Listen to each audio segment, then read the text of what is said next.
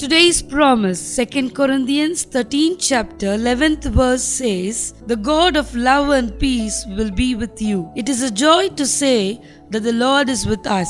At the same time, this very thought gives us great power, strength, and confidence. Our Lord promises that He will be with us. He is the reason and source of our peace and good works.